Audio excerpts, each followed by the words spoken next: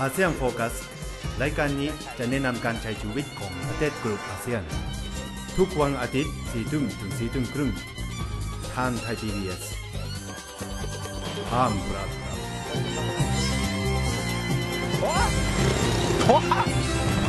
ครับ